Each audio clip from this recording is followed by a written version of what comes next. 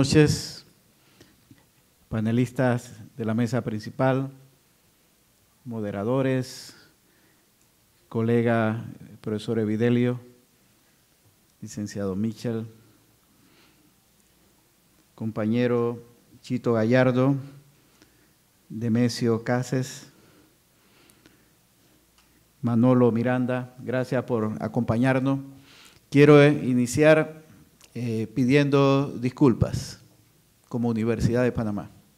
Y quiero pedir disculpas porque este foro debió haberse realizado en esta institución hace por lo menos dos años, porque el problema de Barro Blanco no es de ahora.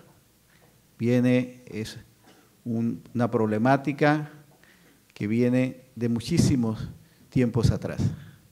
Y nuestra institución debió haber discutido, debatido y tratar de aportar desde el punto de vista de la academia, desde el punto de vista de nuestros profesionales ambientales, desde el punto de vista de nuestros conservacionistas y también desde el punto de vista de los economistas, la factibilidad o no factibilidad de este proyecto hidroeléctrico.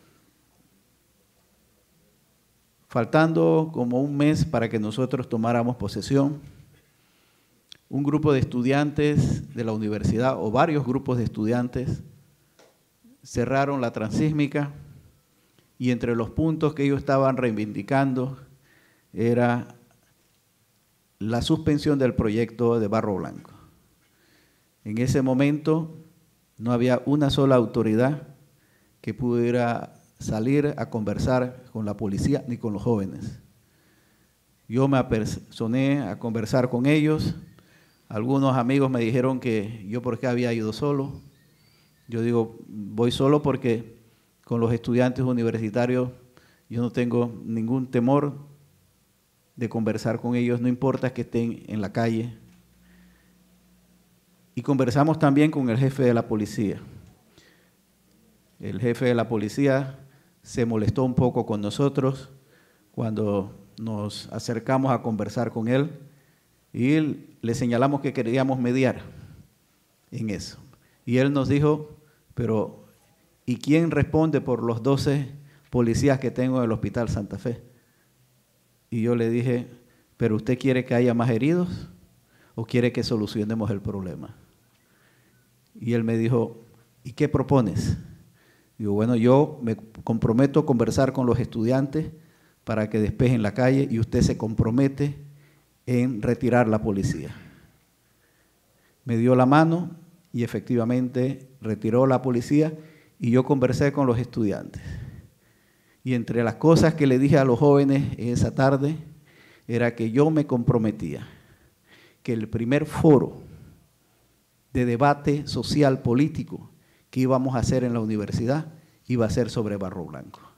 Y por eso esta noche tenemos este debate de altura académico, pero también con pasión, porque la pasión también alimenta el alma. Muchas gracias y que sea de provecho para todos.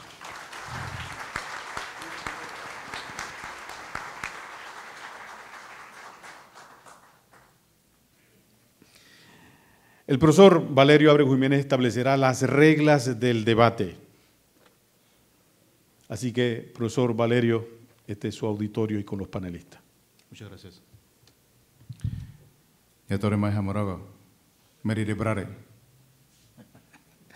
Óyame, un placer. De verdad que muy contento de estar con todos ustedes esta noche. Agradecido por la invitación por parte de la Universidad de Panamá, por esta distinción para moderar en este foro que definitivamente tiene una vigencia extraordinaria el tema de Barro Blanco.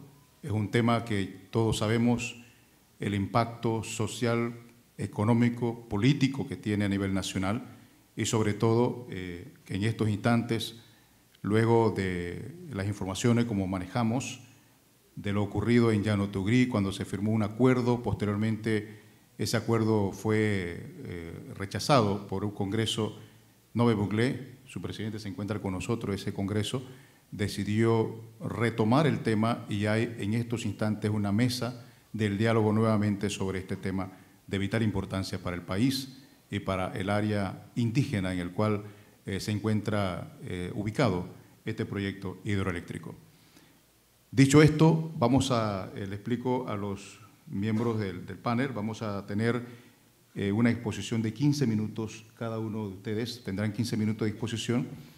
Una vez que concluya los 15 minutos cada uno, vamos a tener entonces el periodo de preguntas y respuestas. El procedimiento va a ser que tenemos nosotros nuestras distinguidas y bellísimas azafatas que están en los alrededores, que estarán recogiendo las preguntas, van a ser por escrito las preguntas, nos las van a pasar a nosotros las preguntas, entonces estaremos desde aquí haciendo las preguntas a los diferentes miembros de este foro y eso más o menos va a ser la mecánica que tendremos para el desarrollo de las preguntas y respuestas, que es de vital importancia igualmente en esta exposición.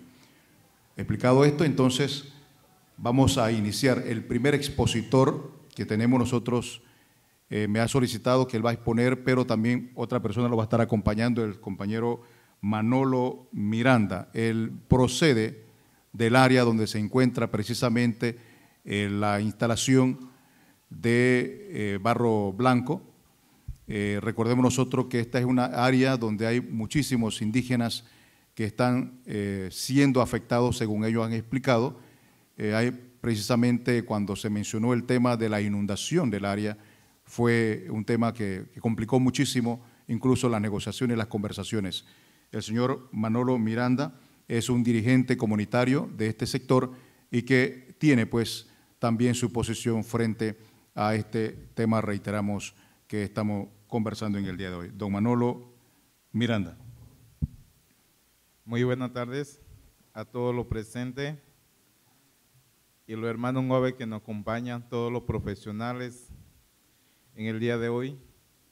En primer lugar, agradecer a la Universidad Eteforo, que para un tiempo, para un tema tan relevante, un tiempo tan corto para poder explicar, y me adelanto señalar que la área, las casas, la familia afectada que existen fotos y todo, no lo vamos a presentar, vamos a presentar los puntos de, de cómo se violó en todos los procesos administrativos y estudio de impacto ambiental.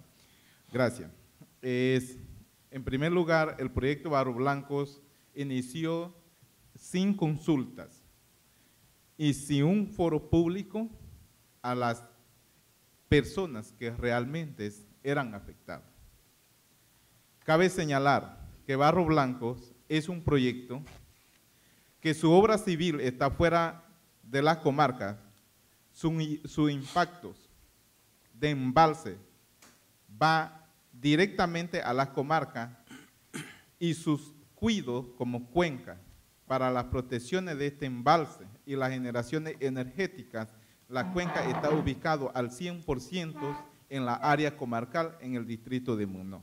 Todos los que han estudiado saben perfectamente que la área de cuenca hay que protegerlo, hay que adjudicarlos a alguna instancia para que de ella sea cuidado y de esta área también la comunidad pierden los derechos al usufructo de esa tierra. Ok. De esa manera entonces queremos explicar que empieza entonces el proyecto eh, afectar. Eh, en primer lugar, las comunidades de Quebrada Plata, Quebrada Cañas, Quia y Palomar no fueron consultados y una quinta comunidad es mixta que es Calabacito, donde hay comunidades indígenas y campesinas, tampoco fueron consultados. En primer lugar, quería señalar eso. En segundo lugar, que ese estudio no señaló que existían estas comunidades, tampoco señaló de que existían valores culturales que se iban a afectar, tampoco señaló de que las comunidades indígenas desarrollan programas tendientes a valores culturales de lengua materna y todo lo demás, no lo señaló. Es más, como una discriminación después de 518 años de ese proyecto, el estudio de impacto ambiental dijo que no había poblaciones con valor excepcional cultural en ese lugar.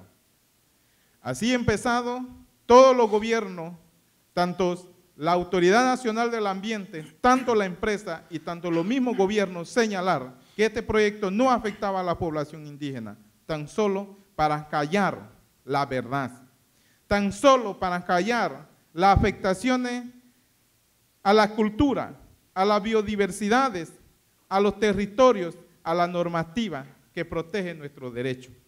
Es por ello, hoy estamos aquí para decir que nosotros hemos dicho la verdad. Y para decir orgullosamente que nosotros no estamos pidiendo dinero, estamos pidiendo aguas, estamos pidiendo tierra, que es un derecho que nos corresponde como seres humanos. Un recurso que nos durará otros 524 años más al frente de las violaciones y del engaños que trata el gobierno nacional y la empresa hablar de querer resarcir a las poblaciones. No podrán resarcir en 518 años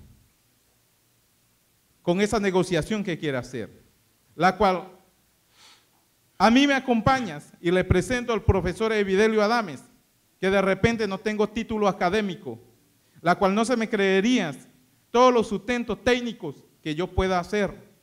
Ante este foro, de ese proyecto impositivas y corruptas, la cual nosotros queremos decir, para pasarles la palabra al profesor Evidelio Adames Arjonas, últimamente basados en un engaño de diálogos, el gobierno ha tratado y ha impuesto este proyecto. El día 2 de febrero del 2015 firmamos un acuerdo entre poblaciones afectadas y gobierno de que si lográbamos sustentar y comprobar que el estudio impacto ambiental y tanto el proyecto no tenía ningún beneficio y no garantizaba ningún sustento de derechos para las poblaciones, entonces había que cancelar. Y ese trabajo se hizo. La comisión trabajó, se entregó todos al gobierno. Tan sencillo y simple como lo dijo Ricardo Martinelli. Varela dijo, no se puede cancelar. O sea, de manera que aquí nosotros como pueblos, aunque tengamos la verdad en la mano, nosotros, nuestra seguridad jurídica no vale. La seguridad jurídica solo de la empresa vale. Aquí no solo se ha fragmentado un derecho humano, pueblo panameño. Aquí se ha fragmentado unas cartas, la más sagrada de la República de Panamá, la Constitución Nacional. Y la Constitución Nacional prohíbe la apropiación privada de la tierra comarcal.